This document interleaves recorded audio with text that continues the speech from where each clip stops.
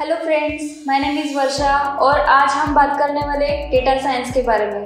तो data science एक interdisciplinary field है, जिसमें हम स्टैटिस्टिक्स और कंप्यूटेशनल मेथड्स के साथ साथ डोमेन स्पेसिफिक नॉलेज को यूज़ करके डेटा से मीनिंगफुल इंसाइट्स एक्सट्रैक्ट करते हैं। डेटा साइंस में social media sensor data financial transaction और मेडिकल रिकॉर्ड जैसे लार्ज वॉल्यूम ऑफ़ डेटा पे कलेक्टिंग प्रोसेसिंग एनालाइजिंग और इंटरप्रेटिंग कर सकते हैं।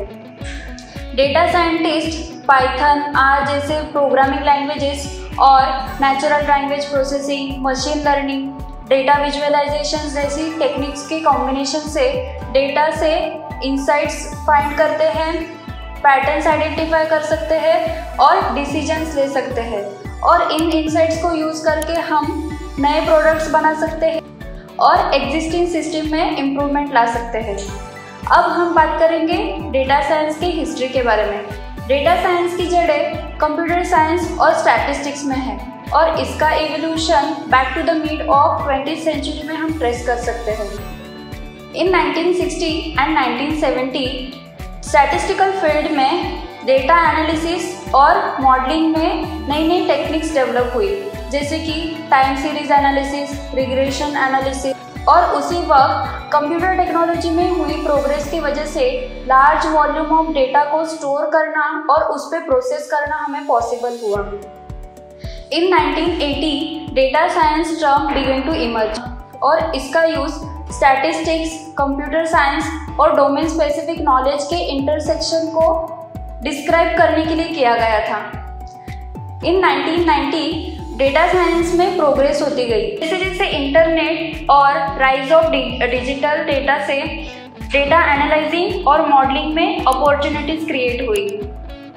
In the early 2000 machine learning की डेवलपमेंट और लार्ज डेटा सेट्स के अवेलेबिलिटी से डेटा साइंस में प्रोग्रेस हुई और बिग डेटा एनालिटिक्स की शुरुआत हुई, जिसमें हम लार्ज डेटा सेट्स पे एनालाइजिंग और प्रोसेसिंग करके डेटा से मीनिंगफुल इंसाइट्स फाइंड कर सकते हैं, जिसमें हम डेटा से मीनिंगफुल इंसाइट्स एक्सट्रैक्ट कर सकते हैं। तो अब हम बात करेंगे डेटा साइंस के टाइप्स के बारे में। There are four types of data descriptive data science diagnostic data science prescriptive data science और प्रेडिक्टिव डेटा साइंस तो सबसे पहले हम बात करेंगे प्रिस्क्रिप्टिव डेटा साइंस तो प्रिस्क्रिप्टिव डेटा साइंस में हम हिस्टोरिकल डेटा को एनालाइज करके उसमें से हिडन पैटर्न्स और ट्रेंड्स को आइडेंटिफाई करते हैं। और पास्ट में क्या हुआ और हमें, हम उसे कैसे इम्प्रूव कर सकते हैं, इसकी स्टडी हम डिस्क्रिप्टिव डेटा साइंस में करते हैं।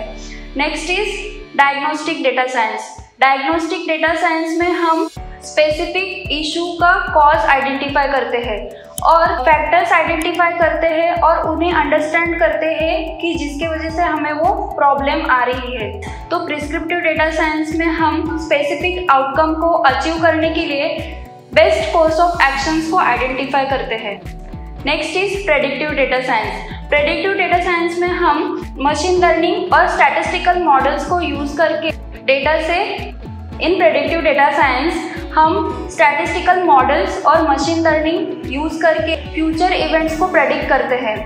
नेक्स्ट इज़ एप्लीकेशंस तो डेटा साइंस की मदद से हम डेटा को एनालाइज करके उसमें से मीनिंगफुल इंसाइट्स फाइंड कर सकते हैं और इन्फॉर्म डिसीजंस ले सकते हैं।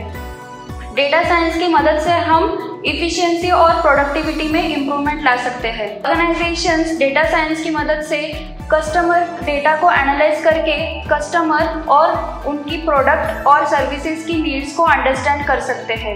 In 2022 the global data science platform market is 74.65 billion dollar तो ऐसी और इंफॉर्मेटिव वीडियोस के लिए हमारे चैनल को लाइक शेयर और सब्सक्राइब करें। तो मिलते हैं इन नेक्स्ट वीडियो